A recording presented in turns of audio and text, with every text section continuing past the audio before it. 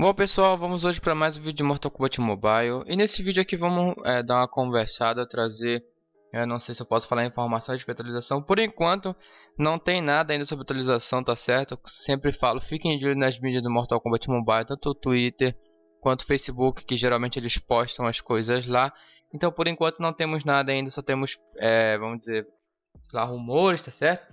Então a gente vai conversar sobre todos esses rumores aqui Separei alguns tópicos pra gente conversar a primeira coisa que, é claro, provavelmente só deve vir, eles começam a bombardear as redes sociais dele com conteúdo, com, sei lá, é, imagem, fazendo aviso ao próximo personagem, trailer de gameplay e tudo mais, só daqui, acho que a 14 dias, porque é o dia que vai acabar aqui. A Torre do Feiticeiro, a Torre do Feiticeiro tá aí por 36 dias, é, foi até uma surpresa essa repetição, porque é, era para ser Deniana, mas eles decidiram repetir a Torre normal do Feiticeiro, não sei porquê, mas enfim... Então, por enquanto, estamos aqui com a Torre do Feiticeiro. Botaram só pra dizer, ah, bota alguma coisa aí pros caras não ficarem reclamando, porque se ficar só com guerra de facção, não vai ter nada que fazer. Então, estamos aqui, né, Torre do Feiticeiro, e estamos aí na época, né, perto de update, não sabe se vai ser a 3.8, se vai ser a 4.0, enfim. Vamos falar aqui sobre alguns tópicos que já existem, mas a gente já pode usar como, sei lá, pistas para falar sobre é, as, as coisas de atualização. primeira coisa é o top 10. Para quem não sabe, esse top 10 ano passado, 2021, teve uma votação que foi aberta, que todo mundo poderia votar no site da NetherRealm, que eram os personagens que você queria ver em futuras atualizações. Esse é, resultado nunca foi divulgado de forma oficial, alguém, sei lá, conseguiu acesso, tá certo? Então vou botar na tela para vocês, nós temos aqui os top 10 o Liu Kang Deus do Fogo, o Shinnok Corrompido, o, o Night Wolf MK11, a Sindel MK11, o Rain MK11, a Cassie Cup, Cascade Combat Cup, o Fuji MK11, o Injustice Sub-Zero, a Milena MK11 e a, e a MK11 Frost. O primeiro que veio foi o Rain, inclusive ele não é o top 1, ele é o top 5, ele veio na 3.1. Aí depois veio é, o Deus do Fogo, junto com o Rain Clássico, na 3.3, correto, no caso. É, depois veio aí na 3.4.1 o Night Wolf, certo, com a Cascade. É, na última aí, a 3.5 veio a Sindel, correto? Sindel está aqui na, em quarto lugar. Depois veio aí o Fudin, é, top 7. É, e tá faltando dessa galera aqui a Frost MK11, a Milena MK11 e o Just 2 Sub-Zero. O Coringa foi até uma surpresa é, ele ter vindo, ele não tá no top 10, tá certo? Provavelmente, eu não sei se eles, estão, eles usaram a... O, teve uma votação no Discord, acho que foi em 2020, cara, se eu não me engano, 2000, meio de 2020 também, que eu acho que foi o Coringa que ganhou. Mas eu não sei, se, não sei porque eles botaram, mas enfim. Então, esse aqui é o top 10, se a gente for deduzir, pode ser que a próxima atualização traga uma dessas três cartas, né, que é o sinal corrompido, ou os, esses quatro, no caso, o sinal corrompido, a, a Millennium MK11, a Frost MK11 e Sub-Zero Injustice 2. O Shinnok corrompido é um personagem bem requisitado até, porque ele é um dos vilões aí principais do Mortal Kombat 10, e o Shinnok também não tem carta de diamante até agora.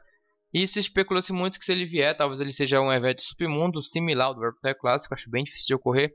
No caso, o Shinnok do Corrompido é quando ele absorve toda a força de Indicei lá no final. Para quem já jogou o modo história do Mortal Kombat 10, o Shinnok ele se transforma numa criatura horrenda depois que ele absorve a energia do Jinsei. Jinsei, para quem não sabe, é uma câmara que tem, que é onde o Raiden armazena o poder dele lá em Earthrealm, que é o plano terreno, certo? Então, quem derrota ele no final aí é a Cassie, a filha do Johnny Cage. Então, é, ele tem, é, se não me engano, até, até raio-x ele tem exclusivo. Então, eu acho que só o problema dele vai ser a altura, que ele é bem alto. Não tão alto em relação aos personagens, mas enfim, isso não é exatamente um problema.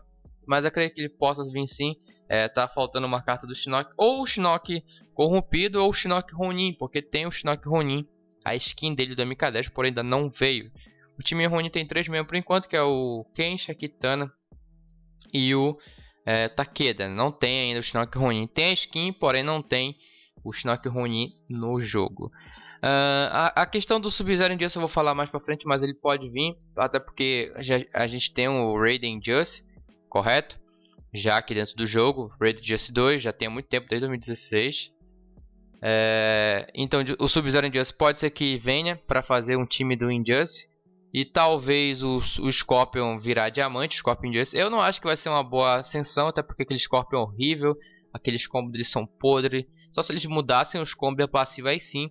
É, seria bom. E o meu medo deles fazerem isso é deles, sei lá, mexerem na passiva do Raider pra, sei lá, a assistência ali só funcionar com aliado em Justin. É, eu acho essa ideia de time uma. Eu acho muito ruim porque limita a sinergia. Por exemplo, esses novos times aí essas cartas, quando eram ouro, elas eram muito melhor quando elas, elas eram ouro porque a passiva funcionava para todo mundo. Por exemplo, a Sônia, é, Guerra Fria, ela dava escudo para todo mundo. Ela continua dando escudo para todo mundo do time, no caso que não Guerra Fria ou Guerra Fria, porém, para quem não é Guerra Fria, só durou alguns segundos. O Quan Chi dava vampirismo para qualquer um, o Quan Chi do Círculo, né? agora antes era Quan Chi Torneio.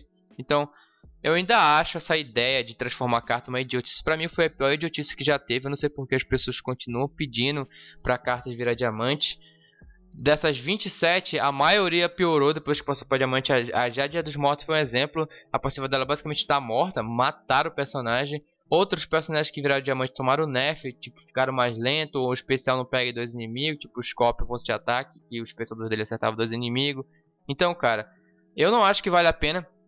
Muita gente pede pro time Triborg virar diamante, o Johnny Cage da Copa virar diamante. Eu acho uma burrice isso. Porque imagina, se eles virarem diamante, o que, que o pessoal que tem ouro vai subir torre? E eu exper subir uma torre sem usar Johnny Cage Cup e os Triborg. Tu vai ver a, a dificuldade que tu vai passar para conseguir zerar uma torre dessa.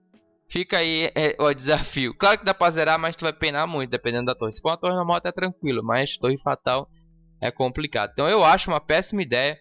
Porque se eles transformarem o Johnny Cage para diamante, eles podem dar nerf no Johnny Cage. Como eu sempre falei, só que a única coisa que passar uma carta de ouro para diamante, a única coisa que tu vai ter é só o quarto espaço, só basicamente isso. E até porque o time me causa, por exemplo, já de Cabal Raid passaram para diamante e não mudou nada. Só eles têm o quarto espaço para usar quatro equipamentos. Porém a passiva é a mesma, não mudou nada. Só tem porcentagem lá, é a mesma coisa quando era o ouro. Então, eu não acho que vale a pena é, ficar nesse negócio de ficar pedindo personagem é, ouro para diamante, dá uma, uma idiotice. Essas 27 cartas, como eu falei, era muito melhor quando era ouro. A maioria era ouro desafio, ou seja, era para ter muito mais ouro desafio agora circulando. Imagina, por exemplo, é, Sônia Guerra Fria no desafio. Os, os três membros da Guerra Fria era desafio: o Scorpion, a Sônia e o Sub-Zero. O time Ronin era tudo desafio também. Olha, menos 3 desafio. Johnny Força de Ataque era desafio, ouro desafio. A Cassie Força de Ataque, que antes era Punk, era ouro desafio. Então, olha só quanto desafio foram abolido por conta dessa burrice. Pra mim ainda é uma estupidez. Isso foi a pior coisa pra mim que já foi feita nesse game.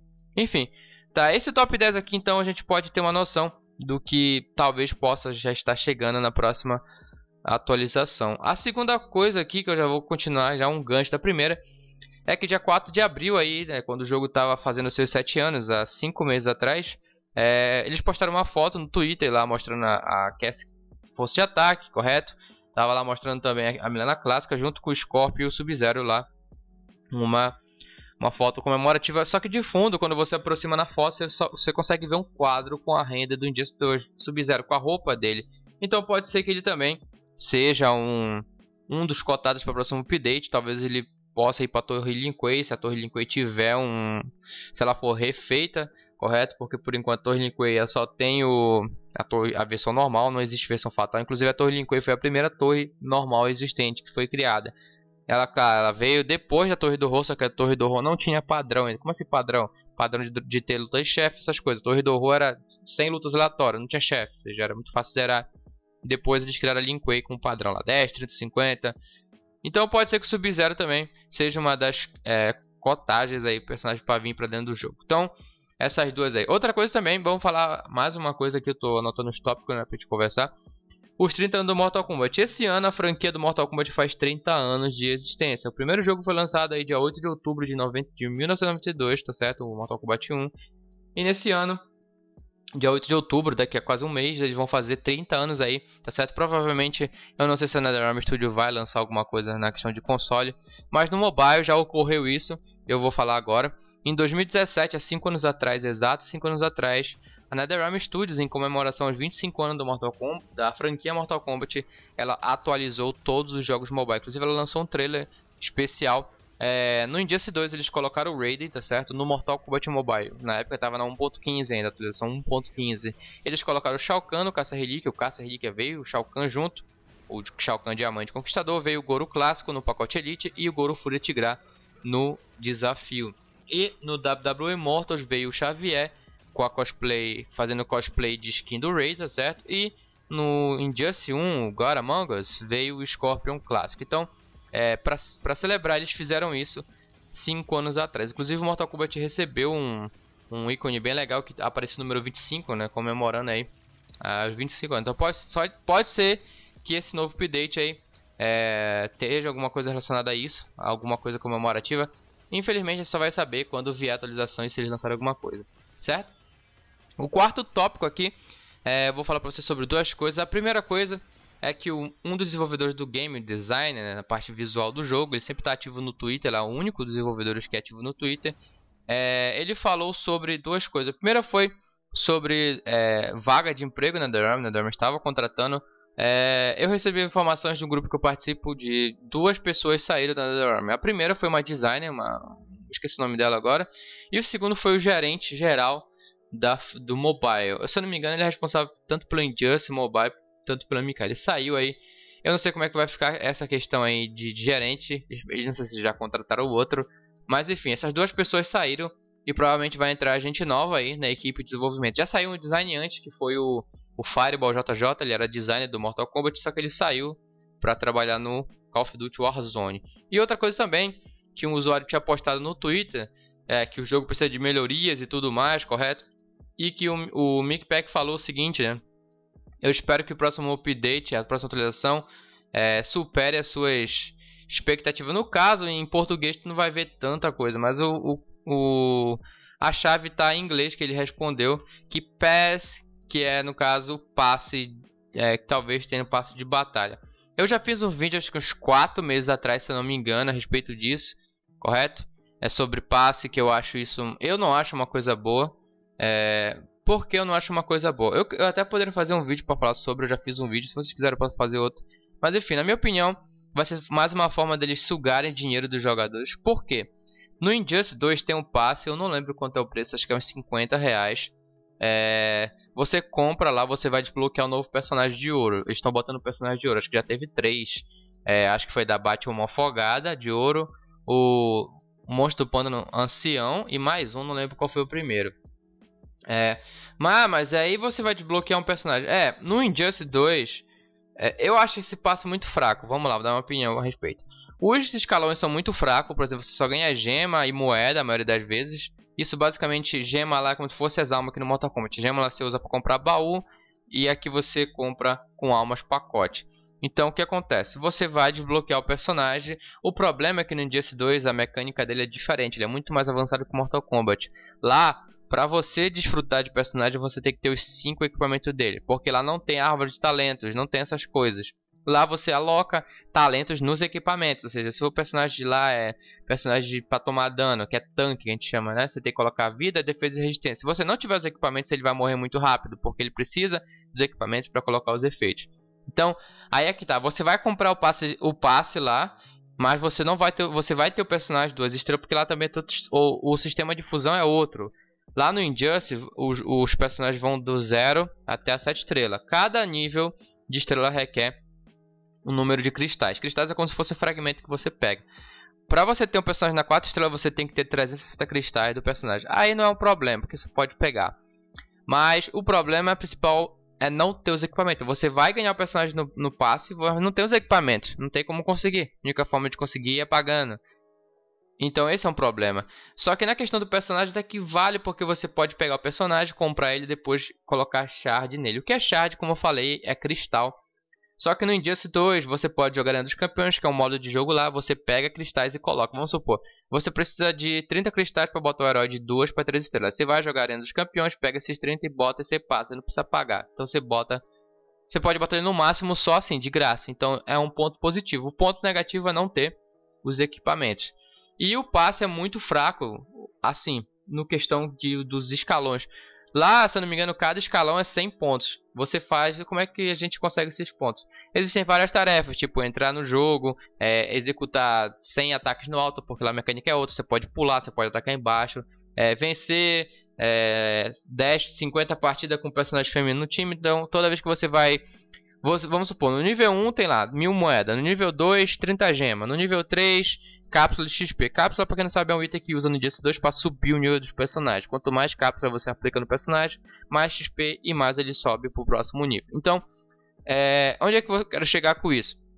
A primeira coisa no Mortal Kombat é que o jogo já não tá indo pra um, um tá numa boa estrada. No Injustice 2, ok, não é um problema o passe. Se você não quiser comprar o passe, você pode fazer os escalões gratuitos. Você não vai ganhar o personagem. Porém, no Injustice 2, eles têm a vantagem que depois de uma ou duas semanas que o passe acabou, eles lançam um personagem que veio no passe por baú pro pessoal comprar com gema, pessoal que não gasta dinheiro no game. Então isso é um ponto positivo.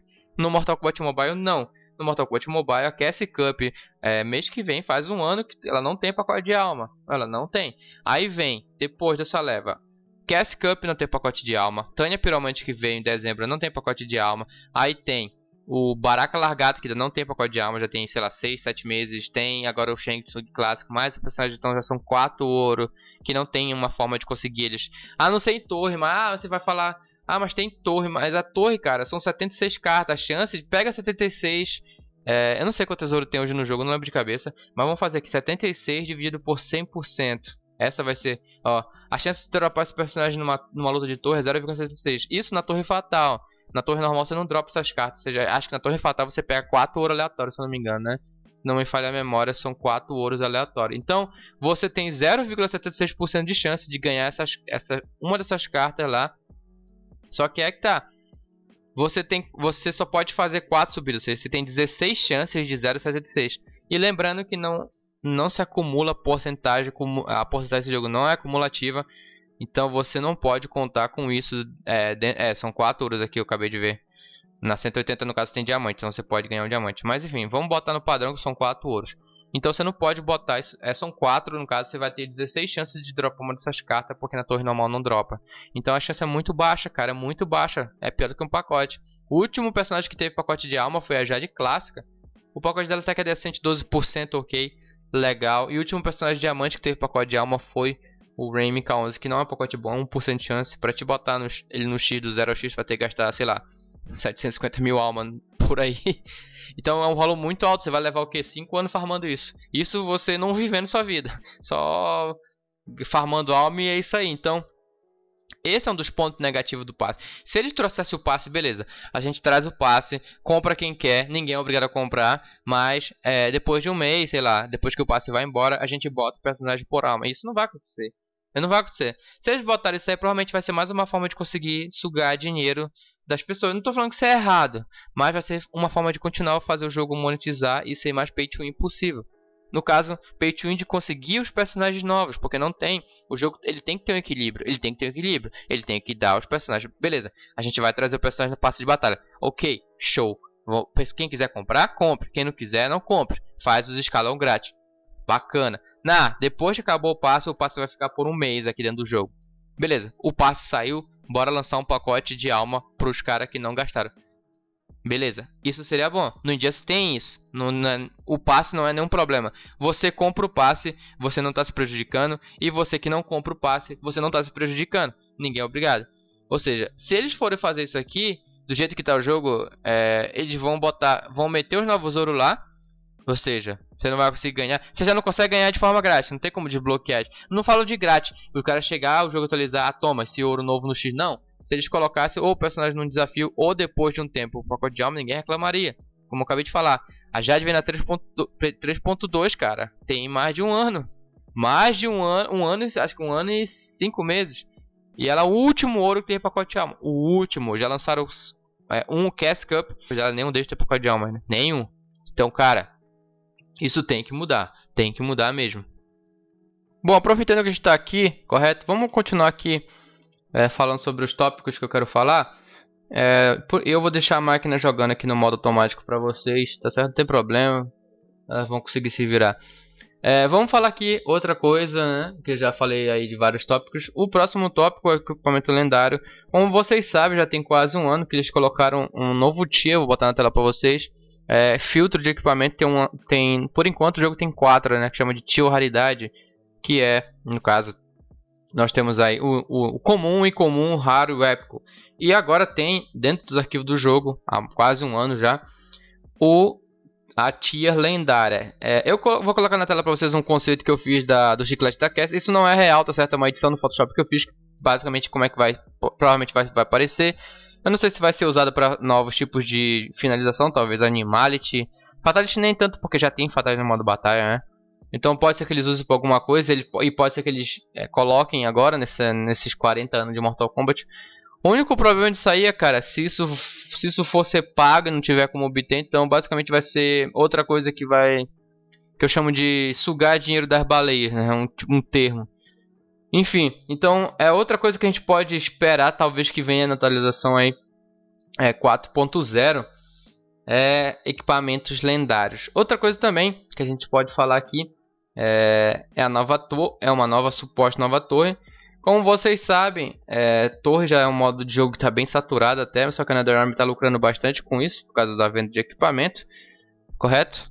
É, então pode ser que a gente tenha uma nova torre. É, uma coisa que eu acabei de lembrar é que o Coringa talvez não possa ser prêmio da próxima torre, porque é, os personagens convidados não, não são prêmio. É, no caso, o não são prêmio direto, né?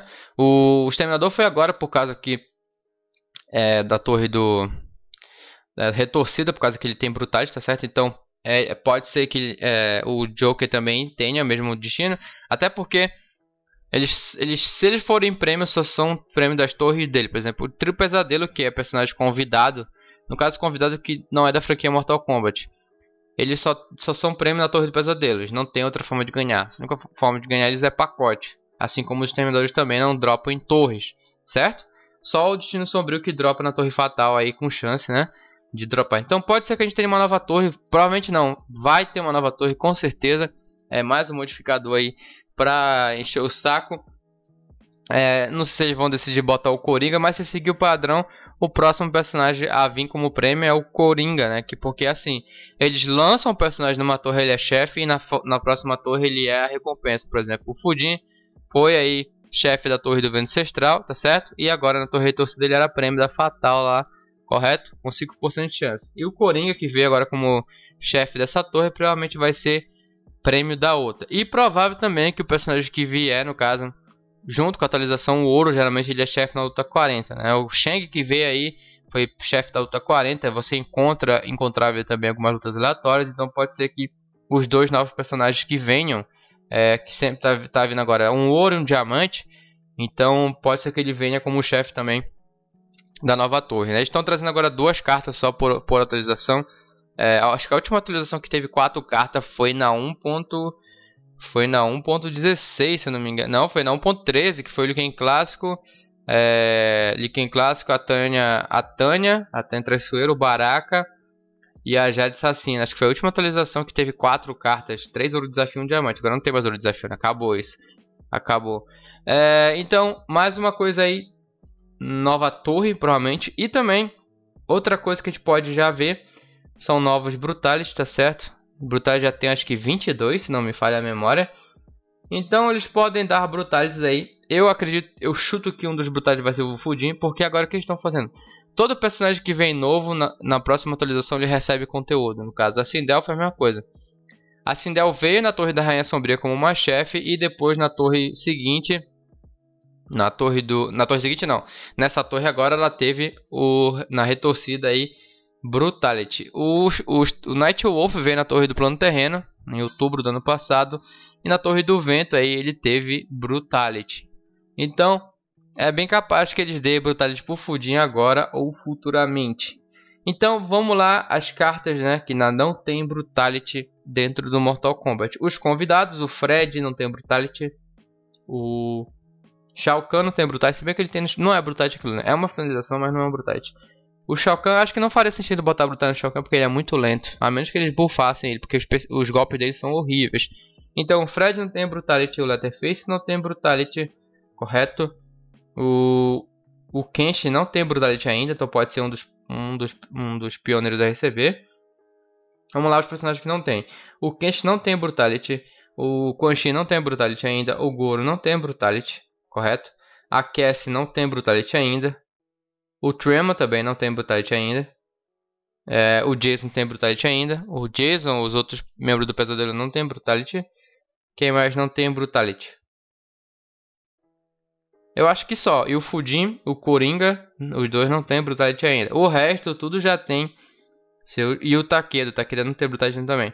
E a Débora. Então esses são os personagens que dá pra se deduzir dois deles vão ter Brutality no próximo atualização. Porque agora todas as torres tá seguindo um padrão. Eles, é, os personagens agora, no caso são dois Brutality por torre. A única torre que teve três Brutality foi a Shirai Ryu. Que é o Brutality do Scorpion, do Liu Kang e da Jade, correto? E tem torre que não tem. Que é a torre do horror. Só que a torre do horror, ela nunca teve Brutality.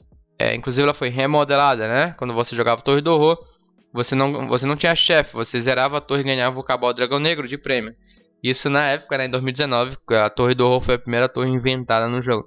Então, essa galera aqui que eu acabei de mencionar não tem brutais, então eles podem ser os próximos personagens a ter. É... Como você já sabe, se tem torre, vai ter brutality.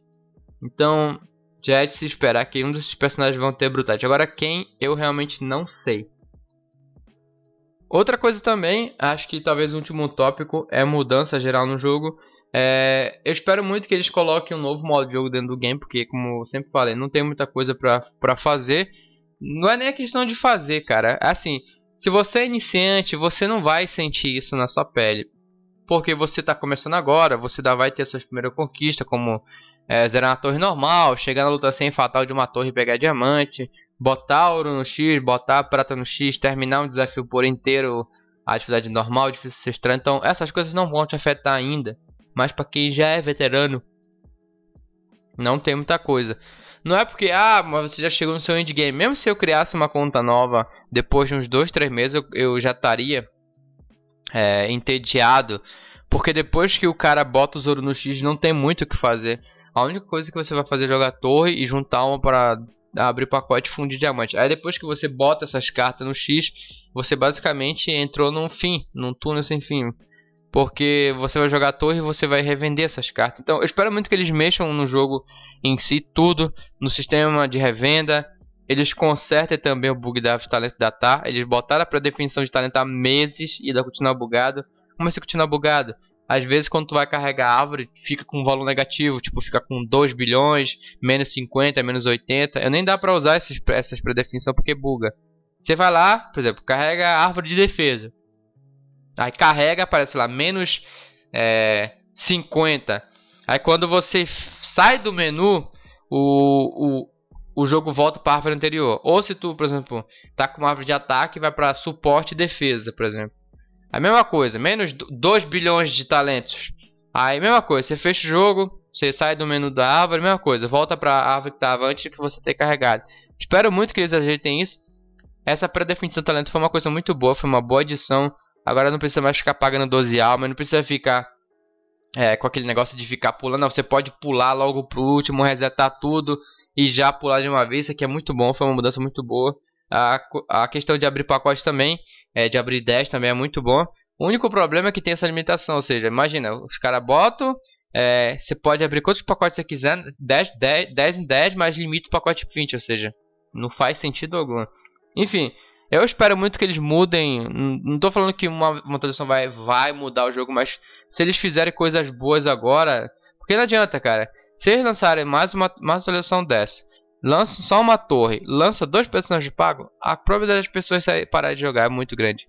É muito grande. Enfim, eu espero muito que eles mudem esse pensamento, porque eu acho que se você for perguntar para qualquer pessoa é, desse jogo, vai estar tá todo mundo falando a mesma coisa. É, quem tem o mínimo de noção das coisas sabe, então eu espero muito que eles mudem isso. Então, é galera, pequeno vídeo aí falando sobre é, essas coisas da 4.0. Infelizmente não tem nenhuma é, é, não tem nenhuma informação oficial, tá certo? Então fique de olho nas minhas no Mortal Kombat Mobile. Se sair alguma coisa lá, eu trago o vídeo pra gente debater aqui. Mas é, é, essa, esses tópicos que eu falei com vocês já são algumas coisas que já estão meio pendentes. Então pode ser que uma dessas coisas se concretize. Como eu falei, eu não sei, eu não tenho nenhum contato com a NetherRealm, não tenho nenhum tipo de patrocínio e eu não tenho nenhum tipo de informação privilegiada, se já tivesse, eu teria feito para falar sobre isso. Enfim, tudo que a gente pode é especular, é a única coisa que pode fazer, não existe nenhuma informação oficial ainda, mas se sair qualquer novidade, eu vou estar tá, é, comentando com vocês.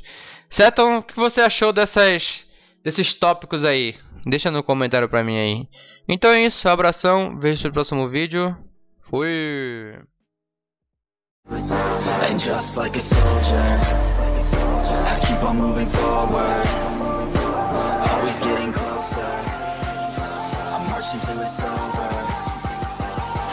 like a soldier